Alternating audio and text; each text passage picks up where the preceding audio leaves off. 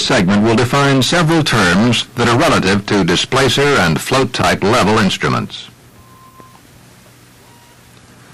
One term is density. Density is the weight per unit volume of a substance. Density has two dimensions, weight and volume. The density of water is 62.4 pounds per cubic foot. 62.4 pounds is the weight. A cubic foot is the volume. Or, you could say the density of water is 0.0362 pounds per cubic inch. The expression also gives weight per unit volume. The density of steel is 490 pounds per cubic foot. The density of gasoline is 37.4 pounds per cubic foot. Specific gravity is the ratio of the weight of a given substance to the weight of an equal volume of water.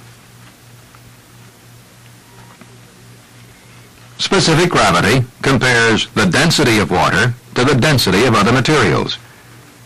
At 60 degrees Fahrenheit, the specific gravity of water is 1. The specific gravity of steel is the comparison of the weights of equal volumes of steel and water. Steel is 7.85 times heavier than water. The specific gravity of gasoline is 0.6. Specific gravities of liquids are related to a given temperature, usually 60 degrees Fahrenheit. Normally, the specific gravity decreases with a rise in temperature. If the specific gravity of a mass is greater than 1, it will sink in water. If it is less than 1, it will float on water.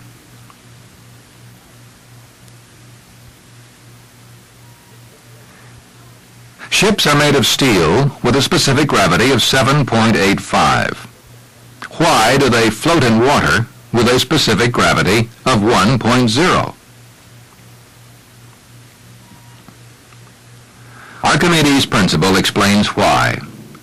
His principle states a body immersed in a liquid seems to lose weight, and the apparent loss in weight is equal to the weight of the liquid displaced. A cubic foot of steel immersed in water would appear to lose 67.4 pounds. This is the weight of the cubic foot of water it displaced.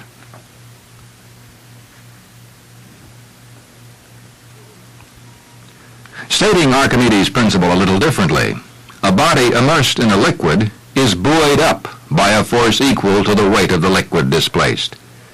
So for an object to float, it must displace a weight of liquid equal to its entire weight.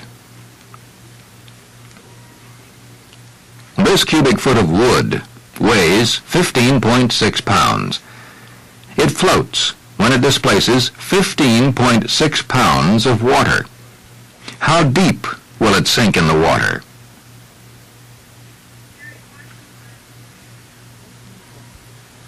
Fifteen point six pounds is a quarter of the 62.4 pound weight of a cubic foot of water. Therefore, the cubic foot of wood will sink three inches, or one quarter of a foot.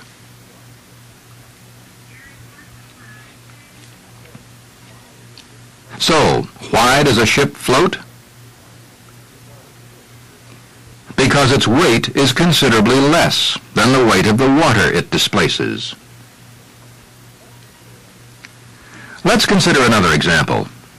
We shall take a 3-inch diameter by 14-inch long hollow stainless steel object that weighs 6 pounds and has a volume of approximately 100 cubic inches and calculate its specific gravity. A cubic inch of water weighs 0.362 pounds. So 100 cubic inches of water would weigh 3.62 pounds. The specific gravity of the 3-inch by 14-inch object would be 6 pounds divided by 3.62 pounds, or 1.66. Will it sink in water? Yes. Its specific gravity equals 1.66. It is heavier than water. Now let's suspend the cylinder from scales. With no liquid above the cylinder, it weighs 6 pounds. If the cylinder is completely submerged, it displaces 100 cubic inches of water, or 3.62 pounds. So it weighs 2.38 pounds.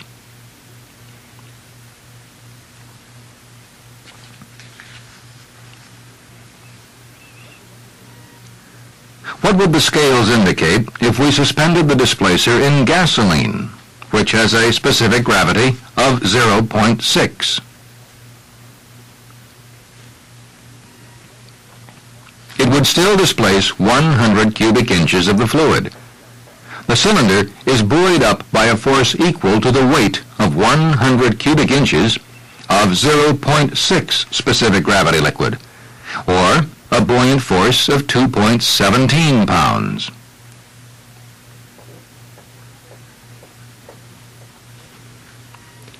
The scales would indicate 6 minus 2.17 pounds or 3.83 pounds. Now let's consider the buoyant force upon a hollow sphere, which is one gallon in volume and weighs two pounds. Will it float in water? Yes, because one gallon of water weighs 8.33 pounds, and this object weighs only 2 pounds. Since the power to operate the level is proportional to the liquid displaced, the float should be weighted so it operates half submerged. The maximum force is encountered at the maximum cross-sectional area of the object, or in the case of the sphere, half submerged. Let's consider our two-pound, one-gallon volume float. For it to float half submerged in water, it would have to weigh the equivalent of one half a gallon of water, or 4.16 pounds. We would have to add 2.16 pounds of weight to make it float, half submerged.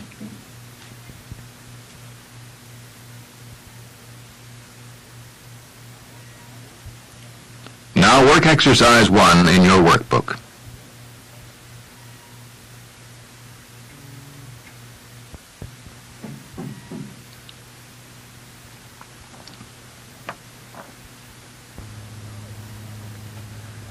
Now let's consider a little more complex problem.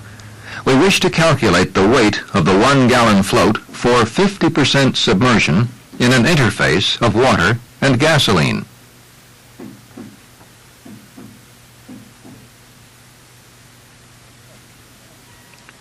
The float must sink in the gasoline and float in the water.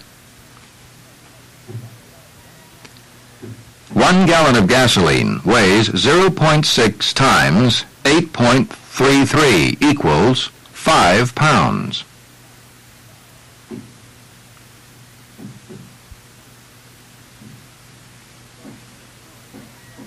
So, the one gallon float must weigh more than 5 pounds to sink in the gasoline.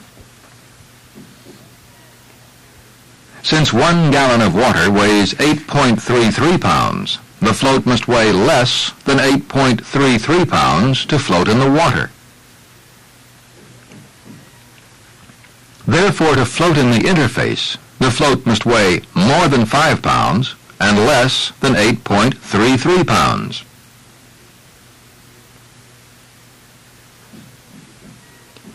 To calculate the weight for 50% submersion in the water, Take one half the difference between the two extremes and add the difference to the lesser weight.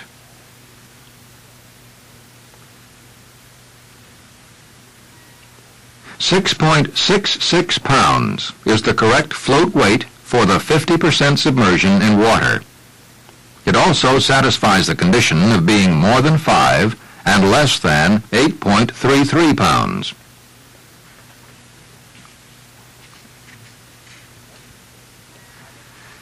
Let's consider the hollow stainless steel cylinder again.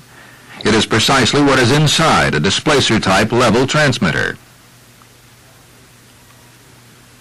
Why is the displacer cylindrical? It is cylindrical, so it will have a constant cross-sectional area. This means for each equal unit of submersion, there will be an equal increment of buoyant force. This yields a linear relationship between level and buoyancy.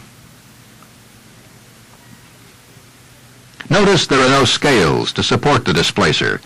There is, however, an element that does the same thing. It is called a torsional spring, or torque tube. The displacer always pulls down as its weight opposes the torque, and when the displacer is completely submerged in water, it still pulls down opposing the torque. The torque tube twists a specific amount for each increment of buoyancy change.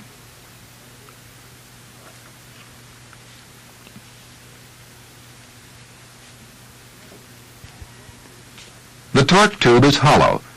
Inside it there is a rod called the rotary shaft. The rotary shaft is fastened to the inner end of the torque tube and transmits the degree of torque tube rotation to the outside of the vessel. The movement of the displacer due to buoyant force is transmitted outside the vessel as rotary motion proportional to liquid level. There is no packing and no hysteresis since the displacer is always pulling down. More details about the operating principle and construction of a displacer type level will be presented in segment 2.14.2 of this module. Now let's review some of the most important terms defined in this segment. Density, as you recall, is weight per unit volume. An example is a cubic foot of water weighs 62.4 pounds. Specific gravity is relative density. It compares the weight of a given substance to the weight of an equal volume of water. Water, whose specific gravity is 1.0, is the standard used when calculating specific gravities.